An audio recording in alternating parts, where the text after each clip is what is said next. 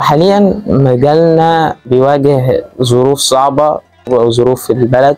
بس هو نقول استثمار لبكرة مش هيضرك لو اتعلمته ده هيفيدك أكتر. ده مجال تراثنا ودي كانت حياتنا اليومية من زمان. تراثنا بادئ كده هو آه في دعم كتير الأيام ديت بس هو إقبال السنين اللي فاتت كان يوميا لازم حد مصري أكتر من السياحي كمان بيعدي عليك يعرف تاريخ بلده ويعرف المنتجات دي بتتكلم عن إيه. أصل دي من أيام الفراعنة. بقى دلوقتي الموضوع مين عايز يعرف المنتجات ديت؟ مين عايز يعرف اللي ليها اندمات محدش مهتم. بس هو الدنيا بدأت تتحسن شوية بقى في إقبال للمعارض زي معرض تراثنا ومعرض ديارنا في معارض شهرية.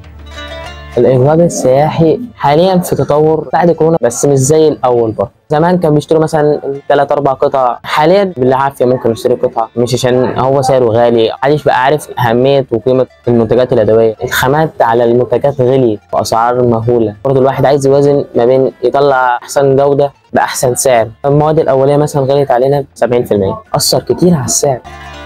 المعرض كويس عشان مدي الاهتمام كله للمنتجات اليدوية. في إقبال بقى حتى لو محدش اشترى بس باخدوا معلومة لسه في ناس بتعمل مؤسسات حرفية.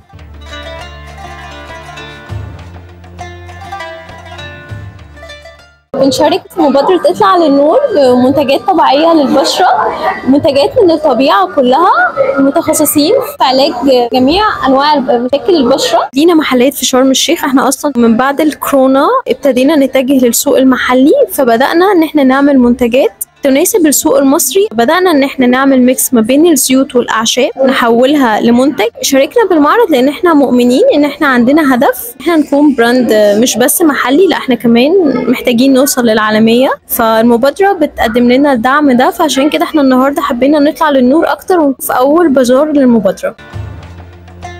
مع الأزمات الاقتصادية وطبعا أسعار المنتجات أو المواد الخام بقت مرتفعة وأغلبها المنتجات المستوردة ما بقتش موجودة في السوق. بس يعني نحاول إن إحنا نطور من نفسنا وإن إحنا نتغلب الصعوبات دي. أسعار الخامات تقريبا بتبقى كل يوم بسعر.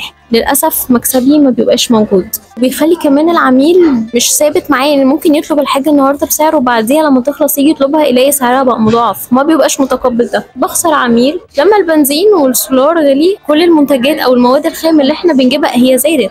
الشحن كمان زاد. ده كله بيأثر. هي مش نسبة ثابتة هي حسب ما السوق بيزيد إحنا كمان بنزيد عليها. بتبقى ظروف خارج عن إرادتنا بس إحنا بنحاول نستمر على قد ما بنقدر.